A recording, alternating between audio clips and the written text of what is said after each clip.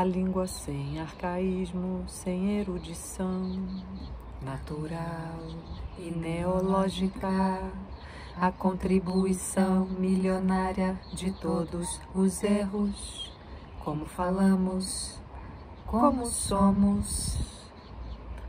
Ao Brasil, a floresta e a escola, o Museu Nacional, a cozinha, o minério e a dança a vegetação ao Brasil. Essa é a live antropófaga. Alegria é a prova dos nove. Eu sou Camila Mota. Eu sou Cafira Joé. Nós somos multiartistas da companhia Teatro Oficina Usina Uzona, também do recém-criado Arquivo Mangue, que é esse duo de fermentação de arte, de cosmopolítica, de amor, de criação, de muita criação. Ah, esse conteúdo a gente vai falar um pouco sobre Universidade Antropófaga. Universidade Antropófaga é a prática de transmissão de conhecimento do Teatro Oficina. A companhia Teatro Oficina Usino Zona é a companhia em atividade há mais tempo no Brasil. Foi fundada em 1958 por um grupo de estudantes do, de direito do Largo de São Francisco e passou por alguns movimentos durante a sua existência. Teve um primeiro movimento, que foi o movimento amador, que foi de 58 a 61. Depois de 61 teve a profissionalização e o início da relação intrínseca entre o teatro oficina e arquitetura, quando a companhia aluga o teatro na rua Jaceguai, 520, onde é até hoje o Teatro Oficina, aluga aquele espaço uhum. e faz a primeira transformação arquitetônica, que é um teatro no palco sanduíche, com um projeto do Joaquim Guedes, arquiteto modernista, palco sanduíche como o Sesc Pompeia, né, duas plateias e uma área de encenação no meio. Tem esse, esse primeiro período que vai até 66, onde a companhia trabalha bastante com monta muitas peças, mas trabalha muito do ponto de vista de linguagem, de estudo, de transmissão e prática de troca de conhecimento com Eugênio Kuznet, que é um ator russo que trabalhou com a companhia e trabalhou bastante é, a vida interior na criação de personagens assim. Foi um trabalho bastante Stanislavskiano né? e teve esse movimento passou por muitas peças importantes, como por exemplo os pequenos burgueses. Esse movimento vai até 66, quando o teatro é incendiado por um grupo paramilitar. E a partir desse incêndio, a companhia busca uma dramaturgia para a criação arquitetônica do seu novo espaço, que não bastava reconstruir aquele teatro incendiado, ele tinha que ser recriado inteiramente. E para isso a companhia vai em busca de uma peça, de uma dramaturgia e chega o poeta Oswald de Andrade. O que a gente cantou no início é o Manifesto da Poesia Pau Brasil, musicada pela Universidade Antropófaga em 2015. Porque Oswald de Andrade entra na companhia através do Rei da Vela, que é a dramaturgia escolhida para inaugurar um novo teatro oficina no palco giratório. E aí todo aquele trabalho feito com Eugênio Kuznet de vida interior, ele foi muito importante porque ele deu sustentação para a interpretação que veio a partir daí, que é uma interpretação oswaldiana de sátira, com os personagens eh, se relacionando diretamente com a plateia, falando uma língua, uma língua da poesia que existe nos fatos. E depois disso tem uma transformação de linguagem com a chegada do coro em Roda Viva, né? Porque o Rei da Vela tem uma quebra de quarta parede, mas aí em Roda Viva essa quebra de quarta parede a rua invade, né? A rua, as pessoas da rua, o coro de Roda Viva era uma juventude que estava em 68, com um tempo no corpo de 68. Depois disso vem um período assim de onde a ditadura militar fica muito muito violenta a partir do AI-5 e a companhia passa a desenvolver outras linguagens, passa a desenvolver um trabalho chamado teatro, que é um desmascaramento do teatro das relações sociais, um trabalho realizado nesse momento muito radical da, da ditadura no Brasil, um trabalho feito assim com uma comunicação não verbal muito forte também, porque era preciso se relacionar telepaticamente naquele momento. O Graça Senhor é uma peça que, que tem essa linguagem assim no cerne da sua criação. Depois disso, a companhia vai para o exílio. Uma parte, é, o Teatro Oficina Espaço, ele fica cuidado e segurado por um movimento de artistas, principalmente do Nordeste do Brasil. A Zuria, uma cozinheira alagoana, fica segurando esse espaço junto com o Surubim Feliciano da Paixão, um pintor, cirandeiro, cantor, um, um, um cara, um artista muito importante.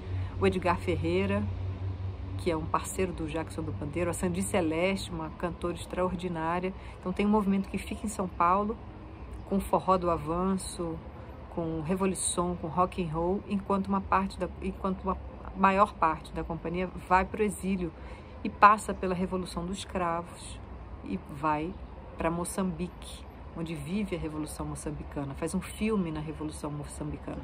Então todas essas linguagens, elas, elas ao longo do tempo, elas vão sendo incorporadas de alguma maneira na linguagem da companhia, sem largar as linguagens antigas, sem largar as descobertas antigas. Então, quando a companhia volta para o exílio, a companhia traz essa experiência das revoluções, da Revolução dos Cravos, da Revolução Moçambicana, e na década de 80 começa um, um movimento que dura 40 anos, que é um movimento de urbanismo pela preservação do entorno do Teatro Oficina no bairro do Bexiga como um espaço verde, um espaço de cultura, porque na década de 80 o Grupo Silvio Santos quer comprar o teatro, que era até então alugado, né? foi alugado em 61 com a profissionalização.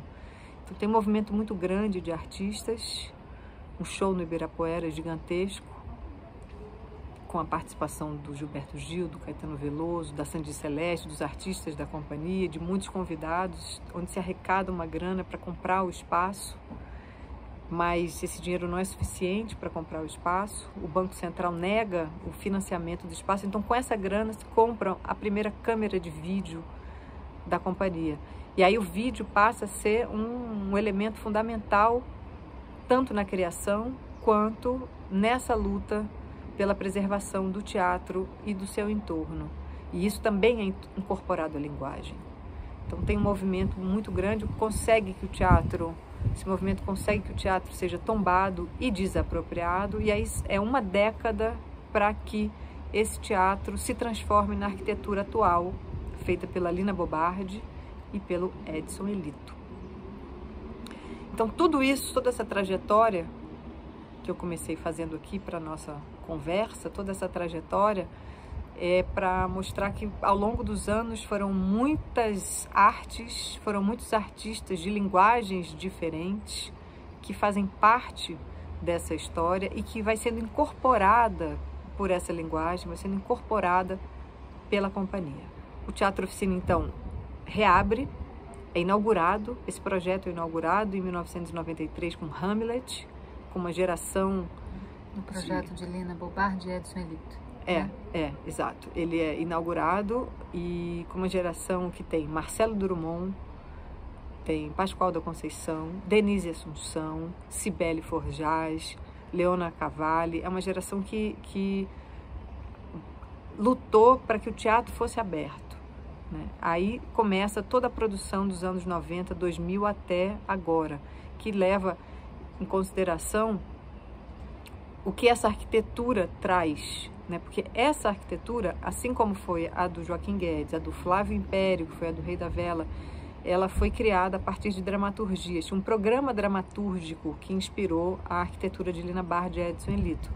Os Sertões, de Euclides da Cunha, Bacantes, de Eurípides, Mistérios Gozosos, do Oswald de Andrade, Acordes, do Brecht. Então, aquele jardim que tem no Teatro Oficina, Esse jardim que tem no Teatro Oficina, ele é o Jardim de Semele.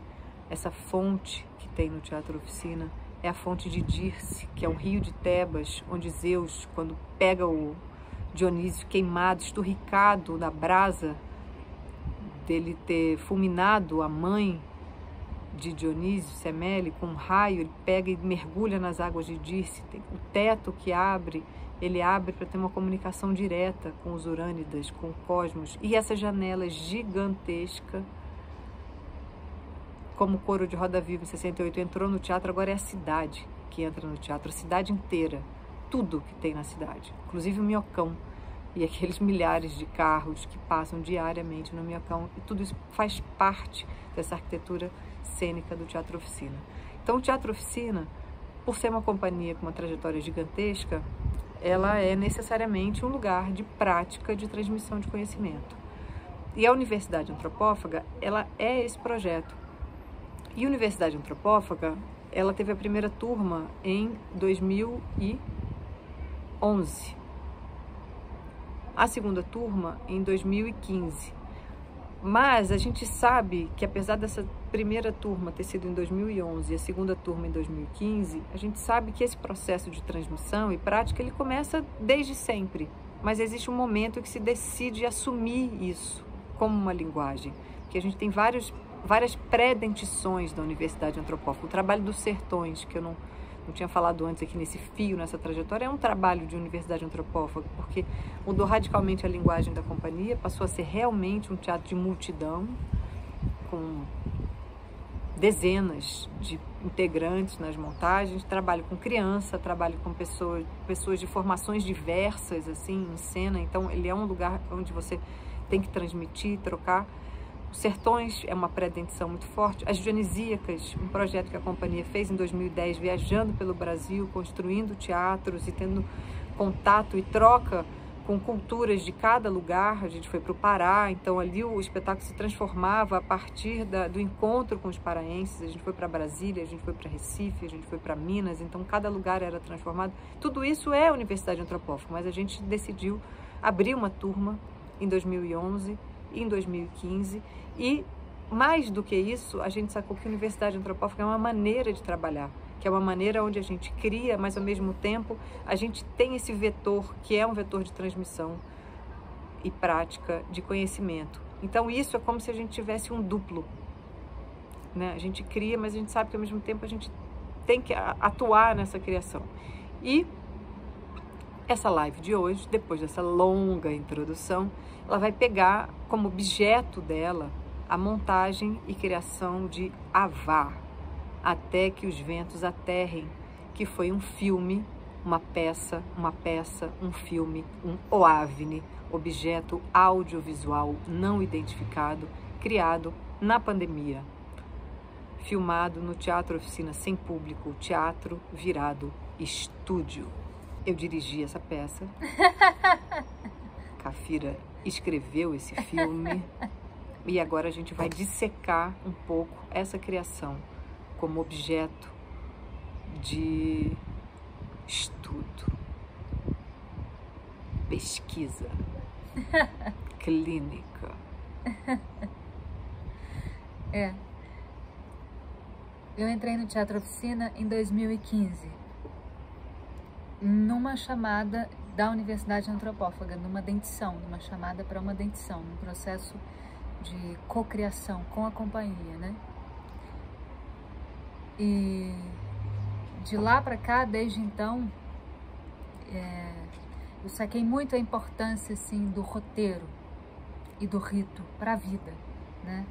Porque o teatro ele, ele é uma uma arte, todas são e ele é uma sem dúvida, com muita capacidade de, de oferecer ferramentas para a vida, tecnologias né, para a vida, de contracenação com a vida, com o que vier. E aí, nesse sentido, e Oswald de Andrade fala isso, né? Ele repete essa palavra roteiros. Ele repete ela quantas vezes? Sete. Sete vezes. Ixu. Ele repete ela sete vezes no Manifesto da Poesia para o Brasil. Antropólogo. Ai! que é uma poesia também, né? Se eu pensar. Pura. Ele é um poeta puro. Não no sentido purista, Deus me livre. No sentido da depurado. matéria. Depurado, exato. Ele é um poeta depurado, muito bem depurado. É, então tem esse, esse momento né, que ele diz roteiros, roteiros, roteiros, roteiros, roteiros, roteiros, roteiros. Isso é muito importante, é uma coisa que, que é um, um, uma prática da Universidade Antropófaga, uma prática de, de criação de teatro através do exercício de ritualizar, do exercício de roteirizar, né? que é também a dramaturgia, é ter um fio. O fio importa, né? esse fio dessa ancestralidade teatral, que é espiralar, é espiral. O tempo não é linear, já dizia Lina Bobardi, que hoje aniversaria. 107 anos de Lina Bobardi no dia de hoje que gravamos, 5 de dezembro. É... Então isso é uma tecnologia da Universidade Antropófaga que que muito muito me interessa, nós interessa e a muitos artistas e, e pensadores e criadores de teatro e no teatro oficina, porque é uma maneira de, de assentar a dramaturgia que vem, a peça que vem, o espetáculo que vem, no sentido da nutrição dessa criação, né? É uma maneira muito potente de nutrir a criação, fazendo com que ela tenha os poros abertos, as raízes fincadas, as antenas ligadas, para se conectar com, com tudo que ela pudesse conectar. Ela vai fazer pontes, né? O Teatro Oficina é um teatro do aqui agora, é um teatro do seu tempo, e são muitos os tempos, porque ele já passou por 63 anos, são seis tempos, seis décadas. Então são muitos tempos num tempo, né, num teatro só. E a Universidade Antropófaga, eu acho que é uma maneira de, de partilhar uma, uma tecnologia de criação teatral que é também uma tecnologia do pensamento, da imaginação, de como elas operam dentro do teatro oficina, como a gente opera com elas, né? as criações, assim, como a gente faz funcionar.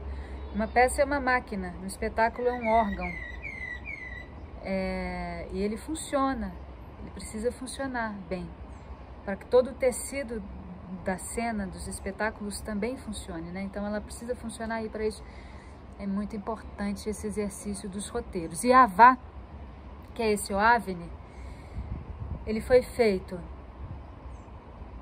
ele nasceu pandemicamente. Ele é uma dramaturgia que a gente escreveu muito plugado no tempo, que era um tempo pandêmico, um tempo inclusive de, de, de, de muito barra pesada em relação a índices de transmissão, contaminação, em relação às vidas, em relação a tudo que estava acontecendo. E, e, e, era preciso, era preciso existir, fazer, é, criar, imaginar para fora disso, com isso para fora disso, outras outras forças, outros caminhos, outra imaginação, outros mundos, né? Então Avá, ele cria um mundo com todos os mundos que existem no mundo, né? Ele, ele é uma dramaturgia que coloca em cena uma atmosfera que é uma ficção, uma ficção talvez um pouco científica, um pouco especulativa, um pouco ancestral, um pouco futura, um pouco pré-histórica, uma ficção cósmica. E é uma fricção cósmica nesse sentido também, que cria uma atmosfera para a gente navegar e atravessar aquele momento que a gente estava vivendo e que, que é um momento que segue que, e, que, e que são todos os momentos, antes, durante e depois de qualquer tempo, ele se passa em 53 mil anos antes ou depois de ninguém. Yavá, ele nasce uma dramaturgia pensada para uma contracenação cuidadosa e considerando toda a dimensão do teatro que precisa da ligação, da contracenação, da ligação para contracenar. Então ele, ele é uma dramaturgia que nasce em uma história que tem um fio condutor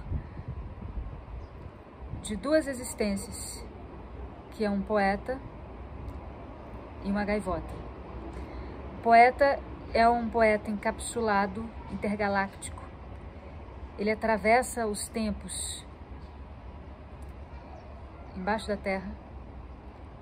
E a gaivota, ela é uma partícula condensada de tudo, dos tempos que passaram por ela e que ela passou por eles, e que vive na ponta de um último penhasco que é também um, uma ruína do último andaime de construção imobiliária, de construções, de construções, né, do último andaime de construção humana na Terra. Ela vive na ponta disso, fora do tempo, e um poeta embaixo da Terra. Eu acho que a gente, eu tenho vontade assim também da, da gente falar da pré-história, já que a gente está falando de 53 mil anos sim. depois, da pré-história disso, que é o seu conto. Ah, sim. Que é o seu conto e também um das gaivotas. Sim. Que foi tudo é pandêmico, né? Na verdade, é. é uma, ela tem uma estrutura pandêmica, mas antes da gente materializar é. e para fazer essa, essa, esse, não esse imaginário, esse matéria, essa matéria nessa dramaturgia de Avar, queria que você falasse um pouco do conto. Ah, tá, ótimo. Tá, é. Bom, o poeta e a gaivota, eles vão se encontrar numa mesma linha, mas isso é daqui a pouco. É, Avar essa dramaturgia, ela é uma encruzilhada de, de textos. Ela é uma, uma, um ponto de partida de um conto de ficção chamado Notícias do Centro da Terra, que foi escrito a pedido da N-1, a editora, para ser publicado numa sessão também de contracenação da, da N-1 com com o tempo, com o que, o que vivíamos, o que estamos vivendo, o que continuaremos a viver, né? Então, existia ali uma, um movimento que criou duas vertentes de publicações, uma para textos pandêmicos e uma para os contos, e aí foi um, um texto escrito especialmente para isso, para a inauguração dessa, dessa, linha, dessa linha, desse fio ali. E é um conto que que fala sobre a retomada da terra. E eu acho que esse fio dele muito forte é o que brota no Avar adiante. E antes de brotar no Avar, ele teve um desdobramento, e isso é a Universidade Antropófaga, né? Os, as dobras e os desdobramentos assim das coisas, como, como, como as coisas estão imbricadas, como, como tudo se trata de encruzilhada. É encruzilhada o tempo inteiro. A Universidade Antropófaga, eu acho que é isso muito. Né? Para mim é porque é, é, é, a Universidade Antropófaga que é essa transmissão de práticas de conhecimento do teatro oficina, que é um teatro total, se diz nesse, nesse sentido. O que a gente quer dizer quando a gente fala que é o teatro total é no sentido da, da confluência da encruzilhada de tudo que pode ser arte da cena. E muita coisa pode, né? E aí, no caso do teatro oficina, cruzam-se linguagens. É o vídeo, é a arquitetura cênica, é a poesia, é o figurino, é a, a, direção de cena, o som, a luz, o vídeo. Já falei do vídeo? O vídeo de novo. Eu gosto muito do vídeo. E aí, tudo isso se cruza e cria essa, essa esfera de teatro total, né? E a Universidade Antropófaga é muito fértil nesse sentido, é um viveiro muito grande, porque é sempre uma, um chamado e um encontro entre multiartistas, tanto multiartistas dentro de um artista só, quanto muitos artistas de diferentes linguagens que juntos formam uma multiarte, né? uma arte total. Assim. E aí, a Vá, nesse sentido, antes de virar o filme, entre o conto e o filme, ele virou ainda um primeiro exercício de cena, poema visual, chamado As Gaivotas que Nascem dos Tremores da Terra. E é, é óbvio, a inspiração é certeira na gaivota do Chekhov. Com Euclides Com da Euclides Cunha. da Cunha, exato. E aí, nesse sentido, a gente começou a fazer um exercício de dramaturgia que era a escrita que vinha, a escrita fluxo que vinha autônoma, ela vinha, ela vinha, ela queria vir, ela nascia, a partir do que já existia, né, da Notícias do Centro da Terra, de Notícias do Centro da Terra, e aí vinha muito do que a gente é, do que a gente já comeu, já, já, já teve como alimento, substância na oficina, né? Que, que, são fortes. Algumas substâncias, são muitas as substâncias, algumas são muito fortes, às vezes elas são mais presentes, mais depuradas, né? Então aí foi, na verdade, uma, uma transa forte com Oswald de Andrade, na, na maneira da criação dos diálogos, né? No sentido da forma de falar e dos diálogos e do, do humor, ainda que seja um humor trágico, é, tem o Euclides da Cunha, né? Com a terra, especialmente nos sertões com a parte da terra, que é uma coisa muito forte, muito bela, assim, que, que nos serviu de, de alimento, e com a gaivota. e aí nasce a Vá,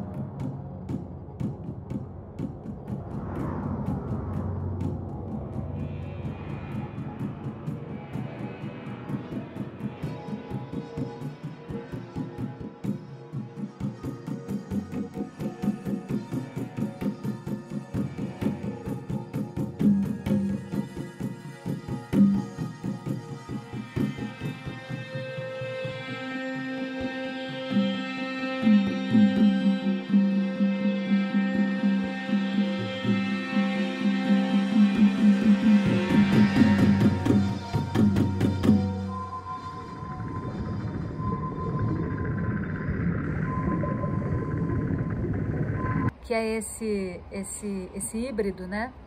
De dramaturgia com roteiro, de filme com teatro, de vídeo com videoarte, com poesia e cena visual e uma mistura dessas referências que, que fertilizam assim muito a terra da nossa imaginação. A VA, enquanto exercício de Universidade Antropófaga de Roteiro, teve que nascer muito rápido. E isso foi uma coisa que a gente teve que experimentar e foi difícil e foi muito louco ao mesmo tempo e depois, bom, depois de nascido, muito bom. Mas é, os processos né, de feitura, eles passaram pela forja da escrita. Primeiro ele nasce texto, ele nasce palavra, essa dramaturgia. E aí a gente vai experimentar ela. E aí sim, de volta ao início, a dramaturgia, pensando no, no que era possível e também no que era disso tudo bonito, o que a gente podia tirar disso tudo que era forte, botar em cena a, a grande a grande tragédia da, da, da, distância de tudo, né? Do, do, do, do, vão, do abismo. Né? O Brasil é o nosso abismo e com a pandemia ele abriu, ele rachou.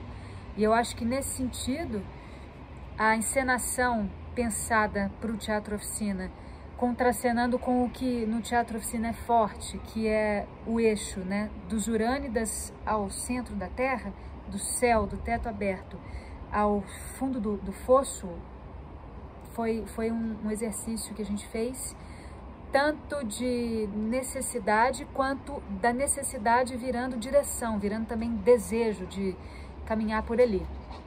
E aí essas, essas duas personagens, elas habitam a, diferentes estratos, alturas, né? E o teatro inteiro, com essas diferentes atmosferas criadas, vira um mundo, ele vira um cosmos. E nesse sentido, o vídeo, que eu gosto tanto, a videoarte, ela tem um papel preponderante, um papel muito importante, porque a gente conseguiu ativar o terreiro eletrônico de uma maneira total, 360, assim, e com pouquíssimo, na precariedade radical da invenção total, da imaginação absoluta, futurista e ancestral, a gente conseguiu fazer do Teatro Oficina um estúdio de gravação que era ao mesmo tempo uma atmosfera completa, era uma esfera. Então, o teatro virava mar, e aquilo tudo realmente era um mar e o Ivan Vinagre, ele fez um trabalho preciosíssimo com a videoarte, né, com as projeções e o videomapping, assim. E o, e o mar virava deserto, vazio, ruína, nada, e depois era revivido de novo, regenerado aquele cenário todo e furava o espaço, né? É, o teatro, que era uma atmosfera criada, não vou dar spoiler, mas é, realmente foi, foi muito, muito importante como exercício de roteiro entender de onde partíamos, para onde queríamos chegar, qual era o super objetivo, qual era a ação disso, dessa retomada da Terra, que história era essa que estava sendo contada, da retomada da Terra, né? Por ela mesma, dos povos humanos e não humanos da terra, em insurreição. São esses os povos, né? A retomada é dessa insurreição dos movimentos vitais que retomam os seus fluxos, os seus movimentos, os seus solavancos, os tremores de terra, as suas ações na vida, né? Só se existe em ato. E a Vá, então,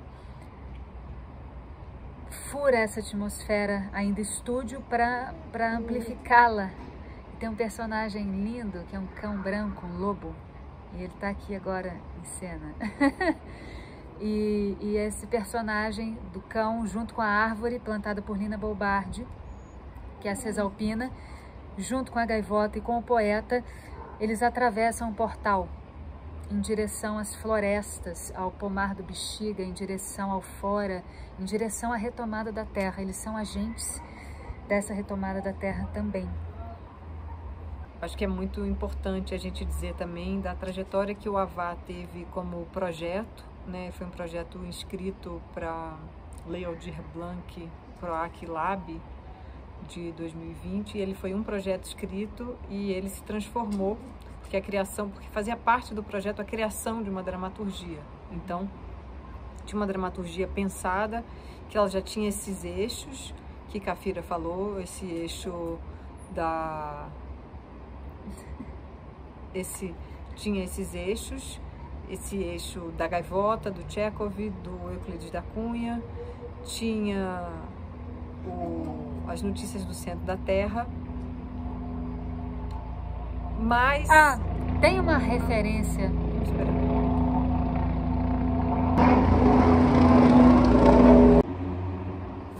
Uma coisa que me lembrei. A Morta do Oswaldo de Andrade também foi assim uma, uma dramaturgia né, de muita afinação, porque existe ali, é, é claro que tem uma conversa direta, que a morta tem o poeta. Na morta existe o poeta e ela é inclusive uma peça vingadora para a poesia, para a poesia como um fogo de insurreição. Então existe, claro, uma conversa direta entre a Vá e a Morta, que eu acho legal, assim, porque leiam a Morta. Existe uma dedicação escrita de próprio punho de Oswald no início, que é o epicentro de uma força muito grande que inspira a Vá, muitíssimo. Isso que eu ia dizer. Os desenhos são parte fundamental dos roteiros da Universidade Antropófaga e, e é uma parada assim fundadora, fundamento para, para a dramaturgia no sentido dos ensaios assim das personagens, do entendimento de do que vai virar, da intenção de uma fala, a atmosfera do vídeo no espaço, tudo passa pelo roteiro e o desenho é uma tecnologia, uma ferramenta do teatro oficina de fazer longos desenhos. Esse aqui é uma, um A4, é uma folhinha. Mas uh, a gente já viveu experiências incríveis de coro na pista, desenhando um papel corrido a pista inteira e todo mundo fazendo esse desenho junto. Esses desenhos corais, esses desenhos coletivos, eles são os imagiários preciosíssimos. É a primeira encenação, é a primeira encenação. Da, da cena, né? É uma é. encenação é. que vem do, da, do, dese, do desenho, do desejo do, do desenho. desenho. do desejo. E a Vá nasceu, essa é uma encenação gráfica da diretora. É a gaivota aqui, tá interessante essa gaivota, ela parece um, um animal também não identificado. Ela, ela é o segundo ato em Cuba, é, então ela pode estar é, no Mar do Caribe, é, ela pode ser ela, uma gaivota Ela já polvo. é vermelha porque ela é. é ela tá em Cuba e o vermelho importa. Tem o tubarão de Guantánamo. Tem o tubarão de Guantánamo entrando aqui. E aí tem uma trilha sonora especial nesse momento, também feita por Lina Tadei Meres, a filha de Roderick e Fernanda, que fez um canto, uma letra, fez uma composição para esse momento que o Gustavo colocou na cena sonora muito, muito bem. E, bom, aqui é um exercício das telas de projeção, né? Que seriam projetadas árvores, é, baleias, orcas subindo, descendo, prédios, tosqueiras humanas e maravilhas humanas, não humanas, tudo isso virou nessas telas que, que foram feitas no andaime com telas de construção imobiliária, com restos de telas de prédios, de construções, eles viraram telas de projeção. Isso é a Universidade Antropófaga.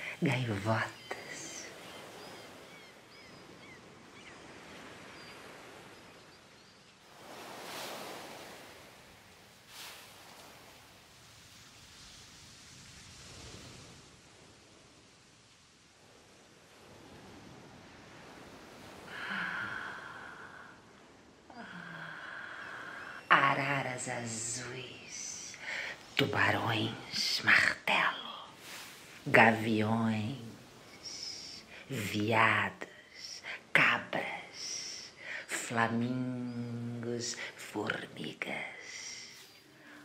aranhas. A gente chega ao fim desse conteúdo. O Avá tá por aí. Se ele não tá, ele vai e volta nas redes, ele passa ele em vai alguns pousar, festivais. ele vai pousar de novo. É, se ele tá, se ele tá voando, ele vai pousar novamente e, e é bom assistir para linkar as duas coisas.